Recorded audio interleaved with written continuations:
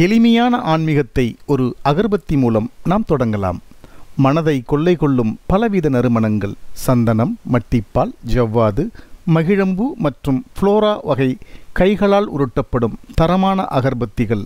இவை மட்டும் அல்லாது கோமதி சக்கரம் லக்ஷ்மி தேங்காய் அதிர்ஷ்ட சங்கு வகைகள் இவை அனைத்தும் தமிழகத்தின் அனைத்து சித்தர் பீடங்கள் மற்றும் சிவாலய விழாக்களில் இவர்களிடம் பெற்றுக்கொள்ளலாம் தபால் மூலமும் அனுப்பி வைக்கப்படும். தொடர்புக்கு குரு அகர்பத்தி பே ஆறுமுகம் ஒன்பது ஆறு ஐந்து ஒன்பது மூன்று நான்கு ஆறு மூன்று ஒன்பது ஐந்து.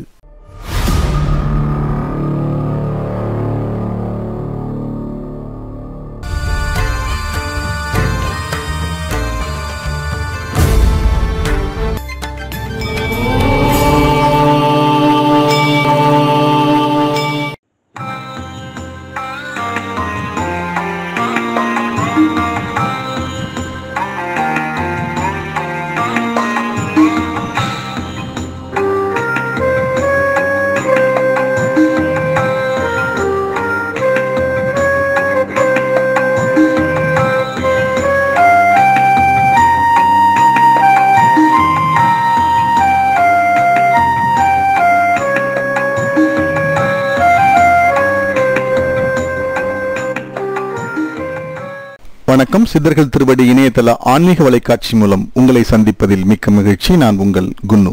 சித்தர்களின் ஜீவபீட தரிசனம் மற்றும் மகான்களின் வரலாறு என்ற வரிசையில் இன்று நாம் திருவண்ணாமலை மாவட்ட சித்தர்களை பற்றி நாம் தொடர்ந்து தரிசனம் செய்து கொண்டு வந்து கொண்டிருக்கிறோம். அந்த தரிசனம் செய்த அந்த காணொளிகளை உங்களுக்காகவும் நாம் வழங்கிக் கொண்டிருக்கிறோம்.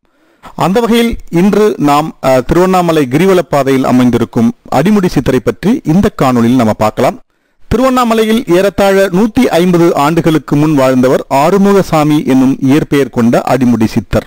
ஏறத்தாழ இருநூறு ஆண்டுகளுக்கு முன் சேலம் மாவட்டத்தில் கடும் வறட்சியால் அவதிப்பட்ட ஓர் கிராமத்தைச் சார்ந்தவர்கள் தம் குலதெய்வமான அம்மனை வழிபட்டு அவ்வூரிலிருந்து புறப்பட்டனர். அவர்கள் பல வண்டிகளில் பொருட்களை ஏற்றிக்கொண்டு புறப்பட்டனர்.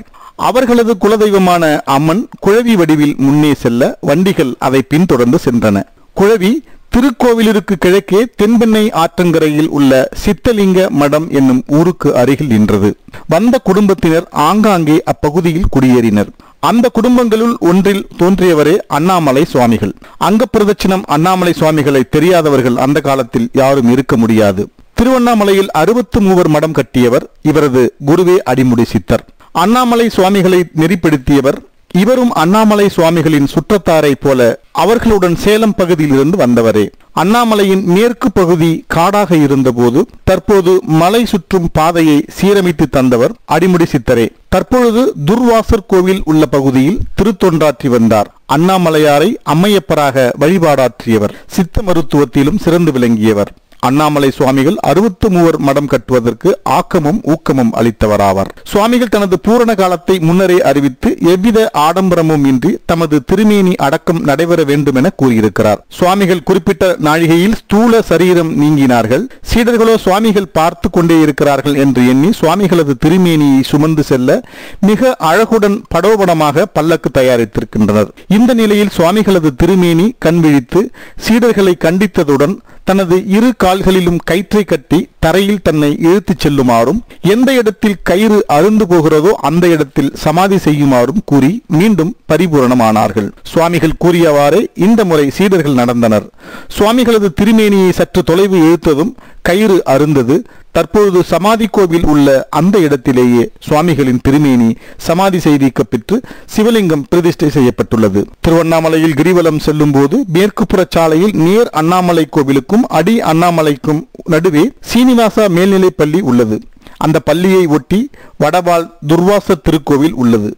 அந்த கோவிலுக்கு நேர் எதிரில் மலை சுற்றும் பாதையை ஒட்டி பாதைக்கு கீழ்ப்புறம் அடிமுடி சித்தரின் ஜீவசமாதி திருக்கோவில் அமைந்துள்ளது. நீங்களும் இந்த ஜீவசமாதி ஆலயத்திற்கு சென்று அடிமுடி சித்தரின் அருளை பெறுமாறு சித்தர்கள் திருவடி இணையதள ஆன்மீக வலைக்காட்சி மூலம் உங்களை கேட்டுக்கொள்கிறோம்.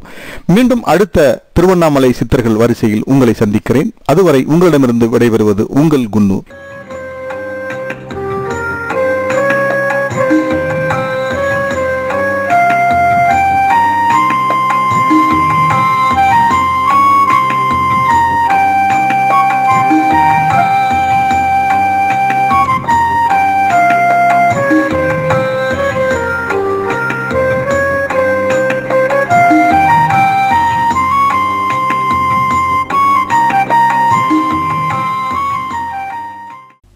நாம ஒருவேளை சாப்பிடலன்னா எவ்வளவு கஷ்டப்படுவோமோ அந்த மாதிரி எத்தனையோ ஜீவன்கள் சாப்பாடு இல்லாம கஷ்டப்பட்டுட்டு இருக்காங்க. நீங்கள் கடந்து போகும்போது பசியால் வாடும் ஒரு ஏழைக்கு ஒருவேளை சோறு நீங்க கொடுத்தீங்கன்னா சித்தருடைய அருள் உங்களுக்கு நேரடியாக கிடைக்கும். உங்களால கொடுக்க முடியலன்னா சித்தர்கள் திருவடி இருகரம் கூப்பி உங்களுக்காக சேவை செய்ய காத்திருக்கிறது. இங்க இருக்கிற நீங்க வாட்ஸ்அப் நம்பருக்கு தொடர்பு கொள்ளுங்க. உங்களால் முடியவில்லை என்றால் சித்தர்கள் திருவடி செய்யும். இந்த பதிவு உங்களுக்கு பிடிச்சிருந்ததுன்னா லைக் பண்ணி ஷேர் பண்ணுங்க. மறக்காம சப்ஸ்கிரைப் பண்ணிடுங்க. மீண்டும் உங்களை சந்திக்கும் வரை அன்புடன் குன்னு வணக்கம்.